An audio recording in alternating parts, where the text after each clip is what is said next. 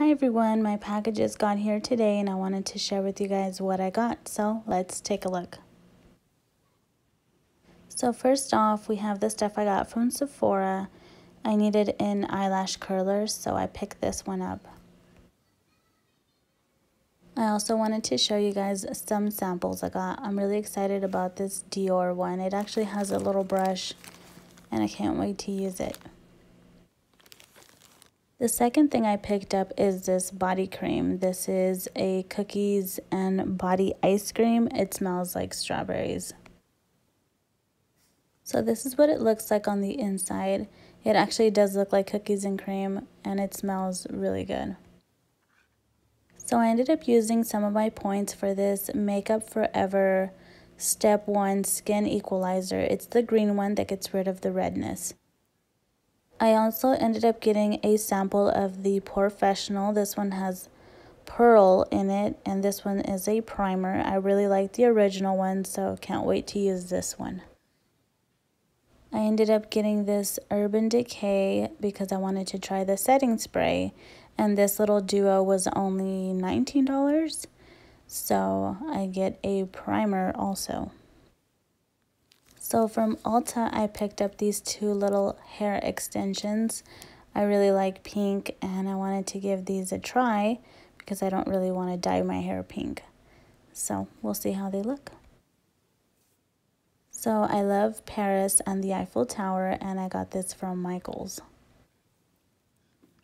So next up is the package that I got from Victoria's Secret. Let's take a look. I love how they packaged everything and even the little keychain that's dangling has white paper on it. So here it is. I've been wanting this bag for a while now and like I said, their attention to just packaging everything up and making sure everything has paper on it or plastic is really nice. I did not know it was going to be shiny, so that's a surprise, but it's still pretty.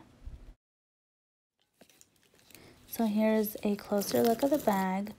This I like because it has more than one compartment. So even here, see it has paper on it. You unsnap it so that you can open it wider. And it has three compartments where you can stick stuff in. So it's a perfect size. I mainly got it for when we go on trips so that I can wear it crossbody.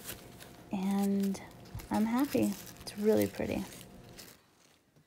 So the last item I got from Famous Footwear and I wanted something for walking.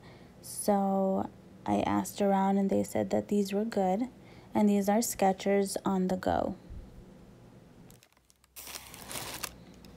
So here they are. I got them in gray. They had them in other colors.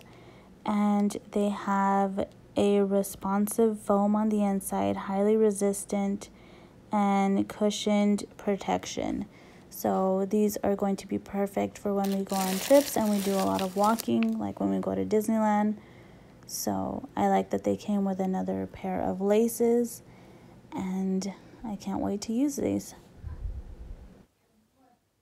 So that's about it. Like, subscribe, and comment. It means the world. I'll see you guys in the next video. Bye.